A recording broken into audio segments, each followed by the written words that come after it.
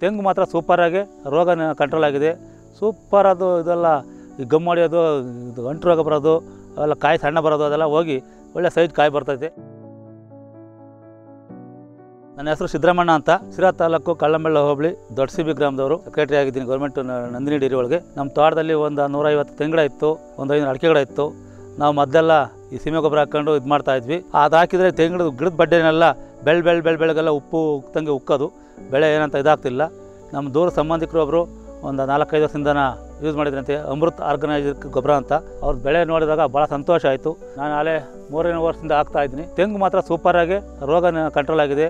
Super ಅದು ಇದೆಲ್ಲ ಈ ಗಮ್ ಹೊಡೆಯೋದು, ಇದು ರೋಗ ಬರೋದು, ಅವೆಲ್ಲ ಕಾಯಿ ಸಣ್ಣ ಬರೋದು ಅದೆಲ್ಲ ಹೋಗಿ ಒಳ್ಳೆ ಸೈಜ್ ಕಾಯಿ ಬರ್ತೈತೆ. ಒಂದು ಸಾವಿರ ಕಾಯಿಗೆ ಒಂದೂವರೆ ಕ್ವಿಂಟಲು, ಒಂದು ಕ್ವಿಂಟಲ್ ಮೂವತ್ತೈದು ಕೆ ಜಿ ತೂಕ ಬರ್ತೈತೆ ಕೊಬ್ಬರಿ ಇಳುವರಿ. ನನಗೆ ಗೊಬ್ಬರದಲ್ಲಿ ಒಳ್ಳೆ ಅನುಭವ ಆಗಿದೆ.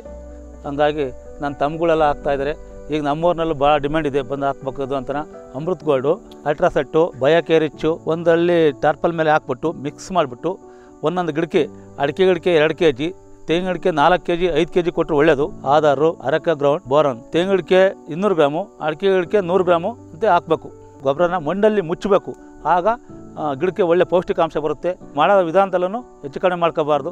ಅವಾಗ ಕಂಪ್ನಿಗೂ ಕೆಟ್ಟ ಹೆಸರು, ನಮಗೂ ಏನು ಬರಲಿಲ್ಲ ಅಂತ ಒಂದು ಇದಾಗುತ್ತೆ. ನಾವು ಮಾಡೋ ವಿಧಾನ ಉಪಯೋಗಿಸ್ಕೊಂಡು ಮಾಡಿದರೆ ಒಳ್ಳೆ ಇಳುವರಿ ಕೊಡುತ್ತೆ.